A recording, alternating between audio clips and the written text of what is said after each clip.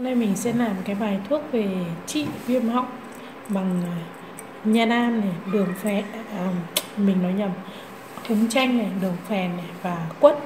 À, các bạn có thể cho thêm vài hạt muối cũng được, và không cần cũng được nhé. Và nguyên liệu này đơn giản như vậy thôi, ba cái nguyên liệu này mình sẽ mang đi rửa sạch và mình xay húng quất rồi mình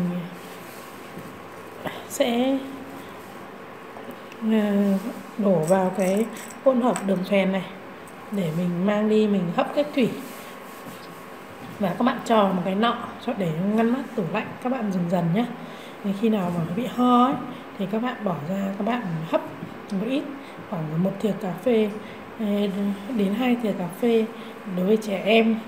Còn người lớn thì mình dùng cả một thìa ăn phở đi.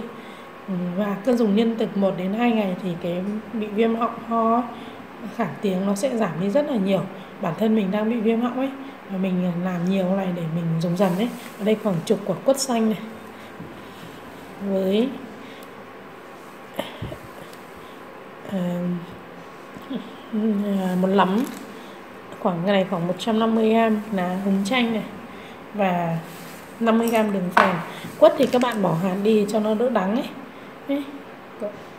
rồi xay cả lá à, cả vỏ quất và cả à, nước quất để sau đó mình sẽ lọc lại với và mình chỉ lấy cái nước à, nó của nó rồi mình sẽ mang đi mình hấp nhé nghĩa là xay hết hai cái này đi và sau đó mình lọc lấy nước và mang đi hấp với cả đường phèn. Dùng đường phèn để cho đỡ bị nóng ấy. Bây giờ sạch thì mình mang mình đi xay máy xay sinh tố nhé các bạn không có máy xay các bạn là, là gì nhỉ? Các bạn là băm nhỏ hoặc giã nhỏ cũng được nhé. Khi xay xong như này rồi ấy, mình sẽ nọc nhé.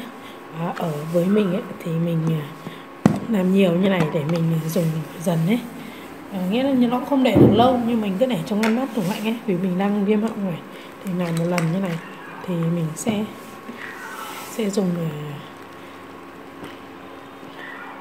đừng đến hết cái đợt ho này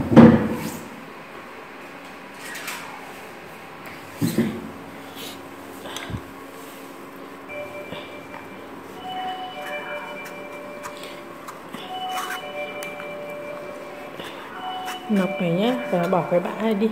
Và mình sẽ mang đường ở dưới rồi. Mình sẽ mang đi, mình hấp cách thủy khoảng 10 phút đến 15 phút sau đó mình sẽ cho vào một cái nọ để cất ngăn mát tủ lạnh mình dùng dần trước khi mỗi lần dùng thì các bạn để ra ngoài cho nó bớt lạnh hoặc là cho vào cái à, nồi cơm điện mà khi mà chúng ta hấp cơm ấy cho một ít vào cái chén ấy và mình hấp cùng ấy để cho nó ấm ấm ấy thì mình uống ấy, thì nó sẽ tốt hơn ấy. Mình hay dùng những cái thứ như thế này vì nó vừa tốt cho sức khỏe lại vừa an toàn ấy sản phẩm thiên nhiên mà.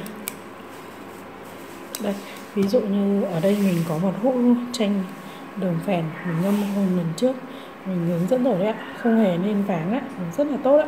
Vừa giờ mình bị ho mình đã dùng hết nửa hũ rồi. Lần này mình dùng bài thuốc này bây giờ mình sẽ mang đi hấp cách thủy nhé. Bây giờ mang đi hấp cách thủy như này. Và với cái bài thuốc này thì những người mà dùng kháng sinh nhiều thì nó chỉ hỗ trợ thôi. À, điều trị viêm họng viêm amidan thôi còn những người mà bị nhẹ mới bắt đầu bị ho và có cảm giác đau họng ấy thì viêm họng ấy, thì các bạn uống thì nó sẽ có hiệu quả à, ngay và nó sẽ khỏi luôn mình không cần phải kháng sinh. Và những bạn bị nhiều quá mà uống kháng sinh mãi mà vẫn chưa khỏi thì các bạn dùng kết hợp cùng cái này nhé bây giờ mình đậy đông lại mình hấp khoảng 10 phút là được. Sau đó mình 10 đến 15 phút hấp từ 10 đến 15 phút. 10 phút là tính từ khi nước sủi và khi mà hấp xong ấy thì các bạn để nguội và các bạn tròn cái lọ nhựa hoặc lọ thủy cây tinh và cất vào ngăn mát tủ lạnh của chúng ta. Như mình nói khi nào mình dùng thì các bạn lấy một ít ra để nguội bên ngoài à, hoặc là cho vào hấp cách thủy lại. À, dùng bao nhiêu thì bỏ ra bấy nhiêu và hấp bấy nhiêu nhé và để cho nó ấm ấm thì mình uống nhé và bây giờ mình đã làm xong cái cách làm húng ờ, chanh húng bạc hà ấy húng chanh với cả quất để trị ho đấy. Giờ mình dừng video nhé. Hẹn gặp lại các bạn ở những video tiếp theo của mình nhé. Xin chào các bạn.